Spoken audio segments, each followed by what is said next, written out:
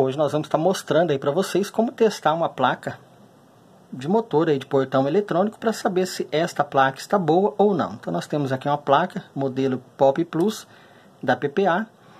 Percebe que temos aqui cinco bornes de ligação.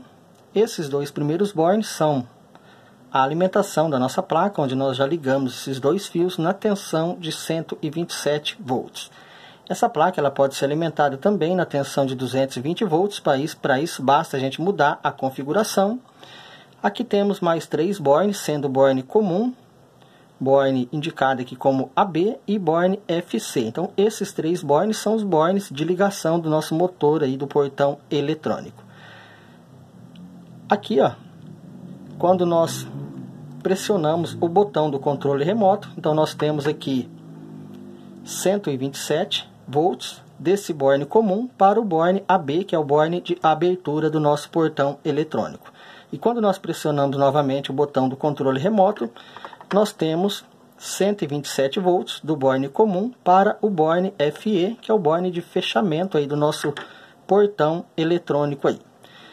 Aqui temos mais dois bornes, como vocês podem ver, que é o borne aqui indicado como capacitor. Então, para esse teste, nós retiramos o capacitor da nossa placa Feito isso, vamos posicionar agora o nosso multímetro na escala de medir tensão alternada e vamos estar colocando uma das pontas de prova nesse borne aqui comum para a gente estar efetuando esse teste aí na prática para estar mostrando isso aí para vocês.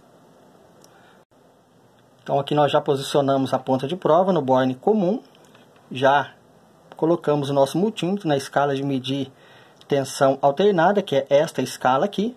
Feito isso, vamos posicionar essa ponta de prova no borne aqui de abertura do nosso, da nossa placa, do motor, do portão eletrônico aí. Feito isso, vamos pressionar o botão acionando a nossa placa. Se essa placa estiver boa, nós temos que ter 127 volts no visor do nosso multímetro, que é a alimentação da nossa placa aqui, ó, como eu disse para vocês, que está sendo alimentada nessa tensão de 127 volts.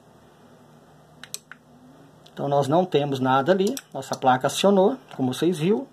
Vamos mudar aqui para o borne FE de fechamento.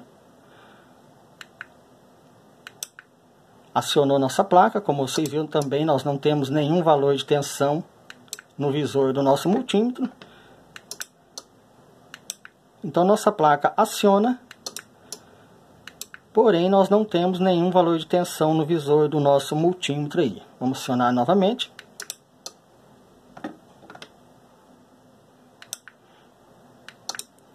Então, com esse teste, nós concluímos que essa placa está com defeito, pois quando nós pressionamos o botão, aciona a nossa placa, só que nós não temos tensão nenhuma aqui ó, na saída, nem de fechamento e nem de abertura da nossa placa aí do motor de portão eletrônico. Então é mais um vídeo rápido, mais um vídeo simples, eu espero ter ajudado vocês. Curta, compartilhe, deixe seu like, se inscreva também no canal para você que ainda não é inscrito.